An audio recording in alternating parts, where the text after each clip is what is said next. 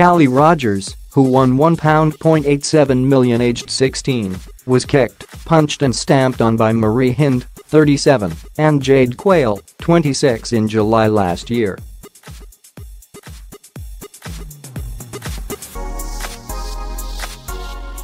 The mum of four, now 31, was attacked in her boyfriend's house in Whitehaven, Cumbria, leaving her with broken ribs, teeth and her nose.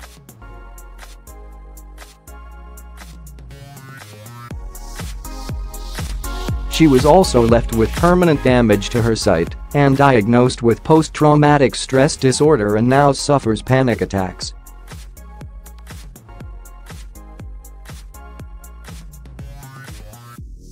She told The Sun, they didn't say a word but grabbed me, threw me on the floor and started kicking me in the head. They were like wild animals and wanted to disfigure me as much as possible.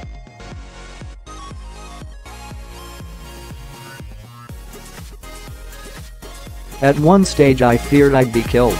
I'm convinced it was jealousy because I won the lottery. Carlisle Crown Court heard how Callie was heading to her then boyfriend Jack Murray's house in a taxi on the night of the attack.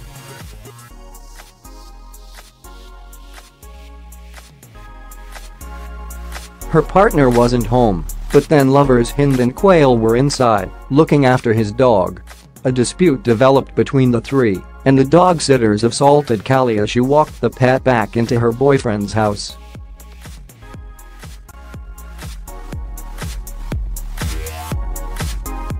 Hinde, of Whitehaven, admitted assault and witness intimidation at Carlisle Crown Court in August and was jailed for 33 months.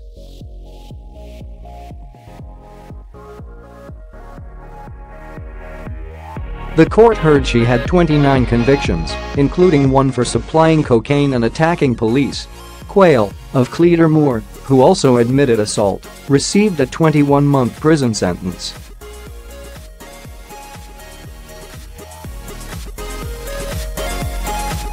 Callie, mum to Kian, 13, Debony, 11, Blake, 6, and Georgina, 2, said she is relieved her attackers have been jailed.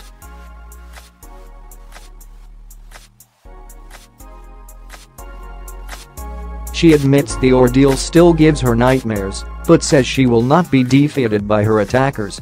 Callie suffered depression after her lottery win and attempted suicide.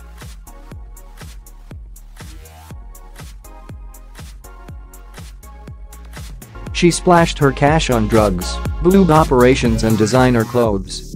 The mother quit her job as a supermarket assistant when she won the money.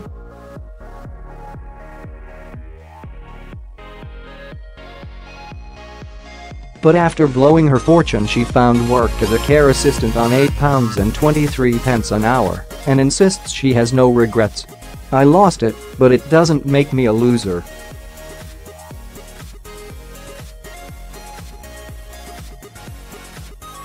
I'm working hard now to provide for my kids, she said. I might not have all that money, but I'm a happier person for it.